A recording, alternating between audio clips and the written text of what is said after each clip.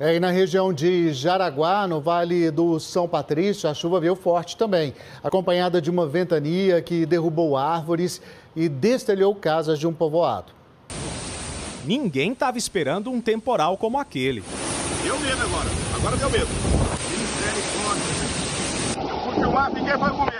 A voz no vídeo é do Zé Fogo. Ele curtiu o domingo em Vila Aparecida, distrito de Jaraguá, quando a tempestade chegou com tudo. Você via a, a galho de árvores passando, tampa de caixa d'água passando, pedaço de telha passando e o povo tentando se esconder e se proteger de tudo quanto era tipo. Árvores e tendas acabaram no chão. Parte do telhado de casas e do postinho de saúde foi arrancada.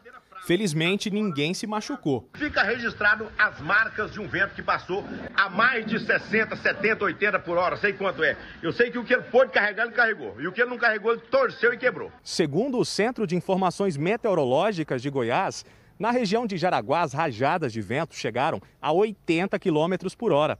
Especialistas dizem que temporais assim são comuns nesta época do ano. Ainda temos a combinação calor-umidade que gera áreas de instabilidade. Neste caso aí, nós tivemos a formação de uma nuvem de tempestade. Tenha cuidado na iminência de uma tempestade, procure sempre um local seguro.